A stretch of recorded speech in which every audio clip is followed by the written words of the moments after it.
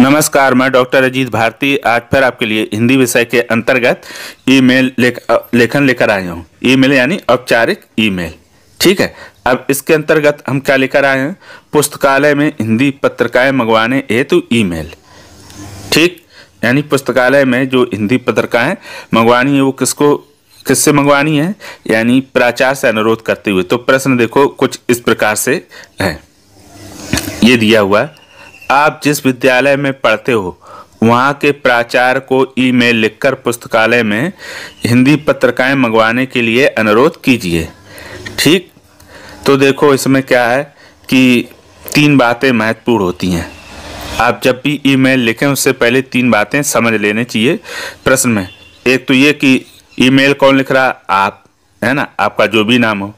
और किसको लिखना है? प्राचार्य को। और विषय क्या है? पुस्तकालय में हिंदी पत्रिकाएँ मंगवाना। ठीक, ये अगर तीन बातें आपने समझ ली तो बहुत आसानी से आप ईमेल लिख लोगे। अब, प्रश्न में ईमेल दिया, वो मेल आईडी दिया भी हो सकता नहीं भी दिया हो सकता तो यहाँ पर आप अपना मेल आईडी कोई भी काल्पनिक रख लेना और प्राचार का रख लेना। अगर दिया रहे तो सिर्फ़, जैसे इनके दोनों को अगर दिए होते तो हम वही लिखेंगे, नहीं दिए होंगे तो हम अपने मन से लिख सकते हैं। अब उत्तर लिखना शुरू करेंगे। सबसे पहले लिखेंगे उत्तर उत्तर के बाद लिखेंगे पुस्तकालय में हिंदी पत्रिकाएँ मंगवाने के लिए ईमेल। उसके बाद जब भी आप ईमेल लिखोगे, चाहे कंप्यूटर में लिखो या मोबाइल में तो मेल खोलते ही आपको ये चीज़ें ज़रूर दिखेंगी फ्रॉम टू सब्जेक्ट और कंपोज ईमेल ठीक है? तो इनके सामने आपको क्या करना है? जैसे फ्रॉम है। अब पत्र का आप लिख रहे है ना, ईमेल पत्र।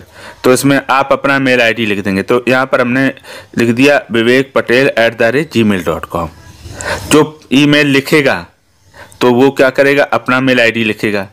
और जो मेल जिसको लिखना, भेजना है तो टू में उसका मेल आईडी लिखेंगे। तो हमने लिख दिया S B M school at the rate gmail dot com ये बस यहाँ ध्यान रखना, छात्र यहाँ कन्फ्यूज़ होता है। फ्रॉम में हम अपना या जो ईमेल भेज रहा है, वो मेल आईडी लिखेगा। और टू में जिसको भेजना है, जो प्राप्त करेगा, उसको मेल आईडी लिखना है। अब उसके बाद फिर आता है आपका सब्जेक्ट तो सब्जेक्ट के सामने हम लिख देंगे, पुस्तकालय में हिंदी पत्रिकाएँ मंगवाने के लिए ईमेल। उसके नीचे दिया होगा कंपोज ईमेल। कंपोज ईमेल के नीचे हम लिख देंगे, सेवा में कॉमा लगा देंगे, उसके सामने ठीक लिख देंगे। दिनांक। दिनांक में कर दिया हमने पच्चीस दो दो हज़ार तो ये दो एक्स इसलिए बना दिए हैं क्योंकि जब हम परीक्षा में या कॉपी में लिखेंगे ईमेल तो उसमें हम दिनांक सही नहीं लिखेंगे। वैसे जब ईमेल किसी को आप भेजोगे तो उसमें दिनांक और समय अपने आप लिखकर पहुँच जाएगा। यहाँ पर सिर्फ़ औपचारिकता है, बाकी मेल में इसको लिखने की ज़रूरत नहीं पड़ती है समय, दिनांक की, ठीक है? अब फिर सेवा में के ठीक नीचे लिख देंगे प्राचार्य महोदय, और प्राचार महोदय के नीचे हम लिख देंगे स्कूल का नाम सरस ये, सरस्वती विद्या मंदिर स्कूल देहरादून। ठीक। उसके बाद फिर नई लाइन्स लिखेंगे महोदय और कॉमा लगा देंगे। अब हम इसके नीचे लिखेंगे मेल। तो मेल इस प्रकार रहेगा। उपयुक्त विषय के संदर्भ में विनम्र निवेदन है कि मेरा नाम विवेक है। मैं कक्षा दसवीं का छात्र हूँ। हमारे विद्यालय में हिंदी की कोई पत्रिका नहीं आती है। मैं और मेरे सहपाठी हिंदी की श्रेष्ठ पत्रिकाओं से जुड़ना चाहते हैं, जिससे हिंदी कविता, कहानी, नाटक, एकांकी आदि में अच्छी जानकारी बढ़ा सकें। पुस्तकालय में हंस, आजकल लमई कथा क्रम आदि हिंदी साहित्य की पत्रिकाएँ मंगवा दी दें, जिससे हम सभी नया और श्रेष्ठ साहित्य पढ़ सकें।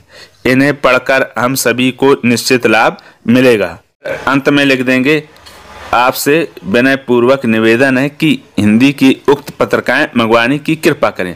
उक्त पत्रिकाएँ का मतलब जो आपने ऊपर तीन चार पत्रिकाएँ लिखी हैं। अंत में हम लिख देंगे धन्यवाद। धन्यवाद के नीचे लिख देंगे आपका आज्ञाकारी शिष्य विवेक पटेल, कक्षा दसवीं। तो इस प्रकार ये ईमेल पूरा आपका लिख गया। लिखने के बाद फिर आपका ईमेल कैसा दिखाई देगा, ये देखो, दिखेगा। फ्रॉम टू सब्जेक्ट कंपोज फिर सेवा में प्राचार महोदय, फिर महोदय, फिर उपयोग विषय में। तो इस तरह से ये आपका हो गया पूरा ईमेल। अब देखो कौन, ईमेल में क्या महत्वपूर्ण बातें हैं, पहले वो जान लेते हैं। एक तो ये कि ईमेल तीन भागों में लिखा जाता है। सबसे पहले आप अपना परिचय देंगे, उसके बाद आप समस्या बताएँगे और फिर उसके बाद हम समाधान निकालेंगे। तो तीन स्टेप में ईमेल लिखोगे। ऐसे लिखना सीखोगे तो बहुत आसानी से। अपना नाम, परिचय, समस्या और समाधान अवग्रह ये हो गया। इसको हमेशा ईमेल के फॉर्मेट में ही लिखेंगे, है ना? अपनी तरीके से कुछ अलग से ना जोड़ें और एक काम और करेंगे कि जो भी हम ईमेल में ये वाक्य लिखते हैं हमेशा ऐसे वाक्यों का प्रयोग करें जिसे आप आसानी से सरल और शुद्ध लिख पाते हो। जो कठिन और मुश्किल लगते हो, उन शब्दों का प्रयोग कभी भी बिल्कुल ना करें। अब, अंतिम बात। आप इस ईमेल का अभ्यास करने के लिए सबसे पहले क्या करेंगे? इसे अपनी कॉपी में दो बार देख कर लिख लो। तीसरी बार बगैर देखे लिखो और फिर मिलान कर लो। जो गलतियाँ हों, उनको सुधार कर लो। ऐसा आप इस ईमेल में और दूसरे ईमेल का अभ्यास करेंगे तो बहुत आसानी से आप ईमेल लिखना कम समय में सीख जाएँगे। तो फिर, अगर किसी प्रकार का आपके मन में कोई प्रश्न या डाउट हो तो कमेंट करके हमें अवश्य बताइएगा। तो फिर आशा करता हूँ कि यह ईमेल आपको समझ में आ गया होगा। आज के लिए इतना ही। अब हम फिर मिलेंगे किसी नए विषय के साथ। तब तक के लिए धन्यवाद।